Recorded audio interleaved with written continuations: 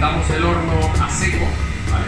No en vapor, sino a seco, con un poquito de aceite para que pueda darle ese toque de sabroso, de una verdura un poquito asada.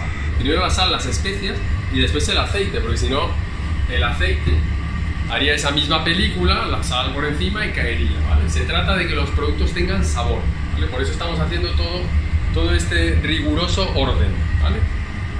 Esto es totalmente, eh, ¿cómo se llama? Voluntario. A mí me encanta el pimentón y más si va a pasar por un poquito de, de calor con el aceitito a horno seco.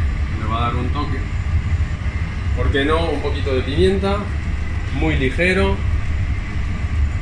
Y ahora el aceite es muy necesario porque es el que va a permitir que entre todo el sabor y no quede una verdura tipo hervida, ¿vale? Y eso es lo que nos va a dar esta diferencia, ¿vale? Ahí lo tenemos. En cuanto se caliente el horno, le damos esos 7 minutos a horno seco, 180 grados, y vemos qué tal el resultado, ¿vale? ¿Qué hemos hecho? Lo hemos deshidratado, le hemos echado aceite, se ha deshidratado un poquito más por aquí, entonces volvemos a conseguir un poco de poro. Entonces lo que podemos hacer es echar unas gotitas de, de limón y después se le puede volver a agregar un poquito más de brillo. Así el aceite de oliva en caliente saca todos sus sabores.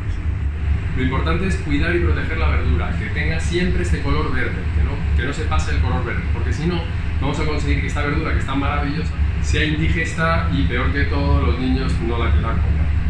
Aprovecharse de sus propiedades. Así que nada, a cuidar las verduras. Gracias.